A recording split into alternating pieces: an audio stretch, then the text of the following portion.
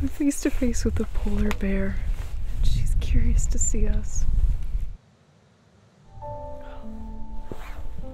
And just to tell you, I'm not lying.